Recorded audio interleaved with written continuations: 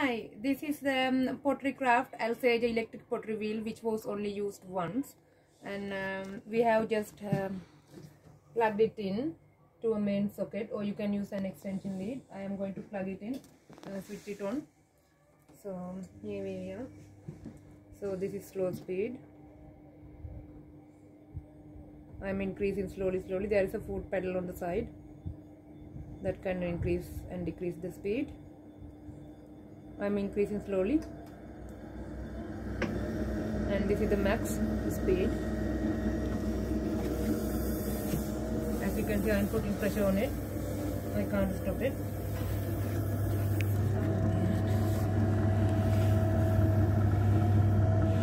This is these are on off switches all uh, waterproof. And um, there's a cut off switch here. And uh, it's it's run by a permanent magnetic motor which which has 0.33 horsepower in it and uh, plugs into 240 volt socket single single phase basically. I'm trying to put my all weight in. I can't stop it. It's really good wheel. Torque. it has a very good torque.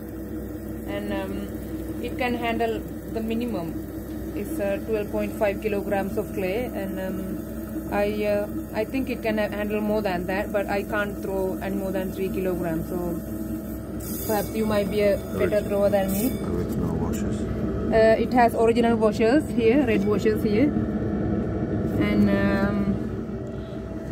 there's Pipe, the pipe has never been used. the pipe as you can Just see the pulls out. used. just pulls, Pulls out, out if, you, you- want if you want to take and, it through uh, slot straight back in. yeah na- narrow doorway or something and the Adjustable adjustable seat height. seat.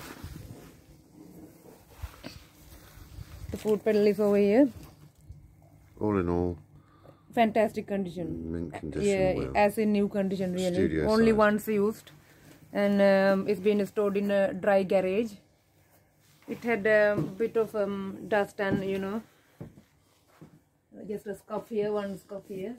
And other than that and a bit of tiny paint here here and there. Other than that it's in overall excellent condition